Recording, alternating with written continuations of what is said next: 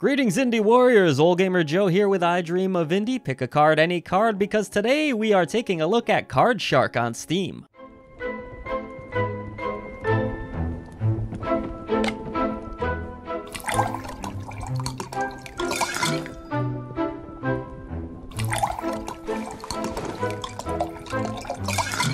Let me preface this review by saying I grew up wanting to be a magician. I absolutely love card tricks. One could say I was almost old Magic Joe, not old Gamer Joe, but then I watched that show where all of the magic tricks were revealed. I don't know if you folks out there remember seeing that one, and it kind of stole some of the luster for me. Needless to say, I've played a lot of games that feature cards over the years, like Poker Pretty Girls Battle. You might want to check that review out on the channel, shameless plug, but I've never played one that's quite like Card Shark, for better better or worse. Card Shark takes place in 18th century France where you are a simple servant who gets caught up in a very dangerous situation. One thing leads to another, a violent encounter takes place, and you end up entangled with Comte de Saint-Germain. This gentleman loves using trickery with his card games in order to con people out of money, and he gets you involved. The writing is actually my favorite part of Card Shark. I was really interested what was going to be happening to these characters next as they went from village to village, what kind of trouble they would get into, it's interesting to see your character suddenly caught in this criminal organization and even in a situation where he's donating money to them. As the game does warn, there are depictions of suicide, death, and violence. Obviously, gambling is a big part of the game too,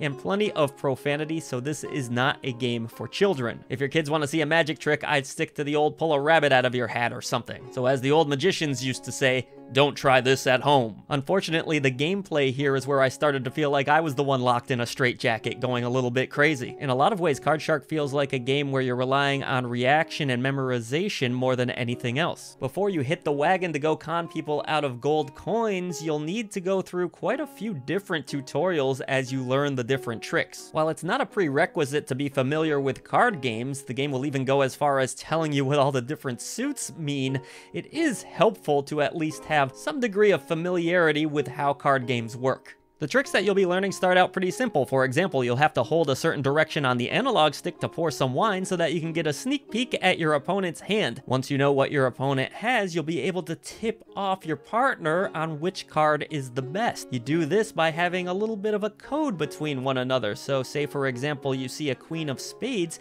you'll be able to tell your friend what suit it is by wiping the table in a certain motion. You'll go clockwise for one suit, you'll go counterclockwise for another, or up and down, something to that effect. As you progress through the game, you'll employ even more methods like stacking the deck or even using some sleight of hand. In fact, when you run out of money in Card Shark, which is bound to happen at some point, there's a certain area that you can go to on the map where you will mostly rely on your sleight of hand in order to get more money again. Here's the worst part of Card Shark in my opinion, it's the stress meter at the bottom of the screen while you're trying to con people out of their money. The longer you take, the more suspicious you look, the more that suspicion will raise, and if it hits a certain point, they'll catch on to you completely and maybe even kill you, depending on which character you're dealing with. Get it? Dealing? Because it's cards? I also just don't think all of these tricks are created equal. Some of them are kind of fun in a simplistic sort of way, others are just obnoxious. One got me raging quite a bit where you have to pick up the cards in a certain order so that the cards will fall in a particular pattern so that your friend gets the best set of cards. The problem is that these cards are facing in every which direction so you would have to tap the analog stick a certain way and it really messed with my head. I couldn't wrap my mind around it. This led to me having to repeat that tutorial over and over again and I got rather annoyed with it quickly. That's what a lot of Card Shark is, frustration, and if their goal as developers here was to make players feel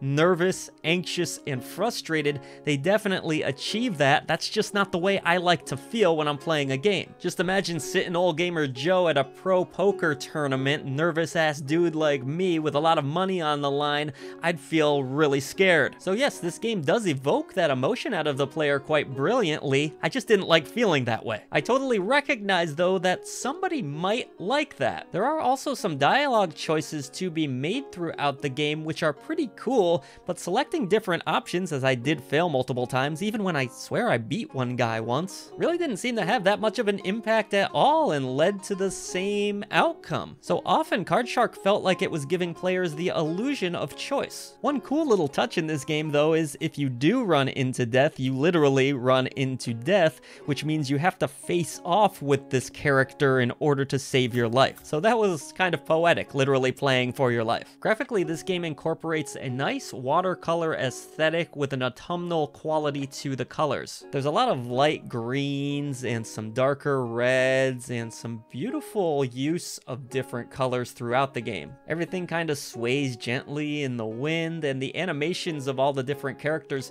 look really fluid, though the game does move at a rather slow pace. The frame rate, that was not an issue at all. It actually ran beautifully on my rig, so I don't think that's going to be a problem for anybody, but it's just a slow feeling game. It's almost like I don't know, kind of feels like a flip book at times, until you actually get to the card table and then your stress goes through the roof. I also enjoyed the orchestrated soundtrack here that does fit that 18th century France vibe quite well. Some really wonderful orchestration, lots of stringed instruments as you might expect. It fits the mood of the game very well in most cases. Sounds very sophisticated, or dare I say it, artsy fartsy. As far as accessibility options in this game, there are three different difficulties to choose from and you could switch them at any time. I tried going down to the easiest just to see if this game was less stressful. Didn't really seem to have all that much of an impact for me to be honest. Outside of that, not too much here really worth mentioning. You can change the languages, the master volume, volume of the music, that kind of thing. Haptic feedback can be toggled on or off. You can change your screen resolution, go full screen VSync, most of the basics. So in the end, is this going to be a deal or no deal? Wait, that was that game show with Howie Mandel. I guess it depends on your amount of tolerance for stressful situations. I personally did not enjoy playing this one as much as I liked pretty much everything else about it. The visuals are really enjoyable to watch. I liked where the story was going, despite the fact that my choices didn't always seem to matter, but it's a game I had to stop playing, and I don't have any blood pressure medication, so I wasn't gonna risk it. Really neat ideas here. It tries something new, and I always appreciate appreciate that in an indie game, but I'm gonna have to fold this time, sorry.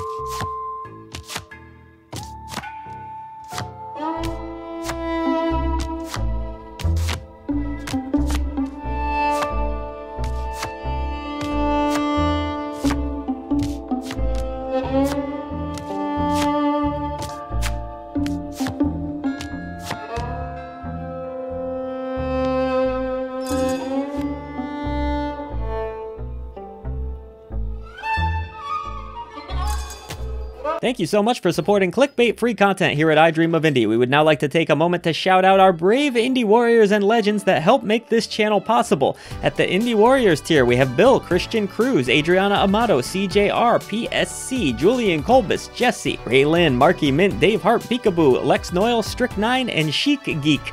At the Indie Legends tier, we have Jen Rose, Larkison, Mitchell Hall, Peach, Skepticism, C. Coyle, Nathan Moore, Chris Jackson, Mr. W, Blue Francis 14, The Beefarinis, Business Cody, Carmen Red, Jace Glover, King of the Hatch, and Ophidian Mind. Thank you so much for everything that you do for independent developers, publishers, and for I Dream of Indie. Head on down to the description box below. Let's defeat the gaming echo chamber and bring a voice to the voiceless ones in gaming.